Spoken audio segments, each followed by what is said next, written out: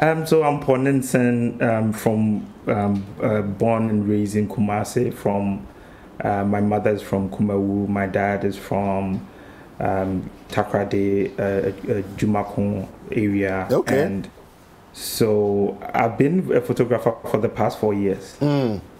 Okay. And and um, my journey has been interesting. Um, I will not say that my path of becoming a photographer was a destined one, but I know that uh, my childhood experience with my grandfather, who used to tell me stories about our culture and traditions, was something which embedded in me at a younger age. I mm. think my path was, I knew how to, I know how to draw very well, so mm. I wanted to be an architect, but it didn't work out. So, but still, I wanted to be a visual artist, and this is my path, and now I'm a photographer and a filmmaker.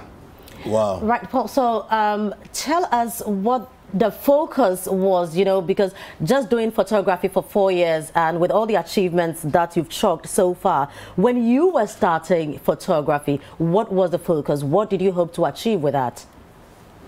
So I think that you know there's a sources of influence in terms of photography. You know what is your source, what is your influence, and for me, um, my sources and my influence led me to the things I do. I love documentary.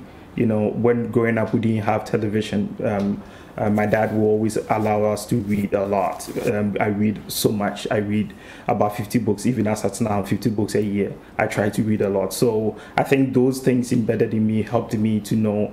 I did weddings, I did events. It wasn't something which um, was much fulfilling for me. So I wanted more. I wanted something to be part of something. I wanted to be part of something, to change something, to tell stories which were uh, important to our society and important to people. So that led me my path to documentary and um, that and